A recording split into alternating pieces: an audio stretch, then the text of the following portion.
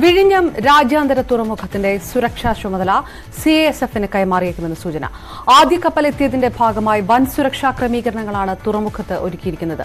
തുറമുഖം ഉൾപ്പെടുന്ന അതീവ സുരക്ഷാ മേഖലയിലേക്ക് പ്രവേശനം കർശനമായി നിരോധിച്ചിരിക്കുകയാണ്.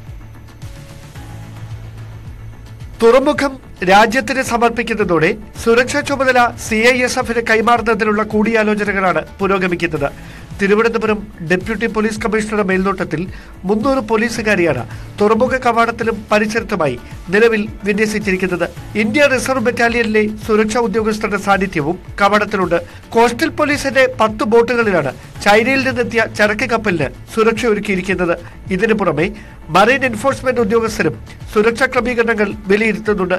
തുറമുഖത്തിന്റെ അതീവ സുരക്ഷാ മേഖലയിൽ പൊതുജനങ്ങൾക്കടക്കം ദൃശ്യങ്ങൾ പകർത്തുന്നതിന് കർശനമായ നിരോധനം ഏർപ്പെടുത്തിയിരിക്കുകയാണ്.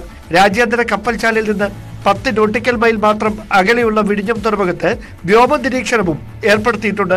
ആദ്യ കപ്പൽ എത്തുന്നതിന്റെ ആഘോഷ പരിപാടികളുടെ ഭാഗമായി ഞായറാഴ്ച കേന്ദ്ര തുറമുഖ വകുപ്പ് മന്ത്രിയടക്കം വിഴിഞ്ഞത്തേക്ക് എത്തുന്ന പശ്ചാത്തലത്തിൽ ശനിയാഴ്ച വൈകുന്നേരം മുതൽ പോലീസിന്റെ നിയന്ത്രണത്തിലാവും തീരമേഖലയും പരിസര പ്രദേശങ്ങളും തുറമുഖ വിരുദ്ധ സമരത്തിൽ ഉൾപ്പെട്ടിരുന്ന ജനകീയ സമിതിയുടെ നേതൃത്വത്തിൽ വീണ്ടും പ്രതിഷേധമുണ്ടാകാനുള്ള സാധ്യതയും പോലീസ് തള്ളിക്കളയുന്നില്ല.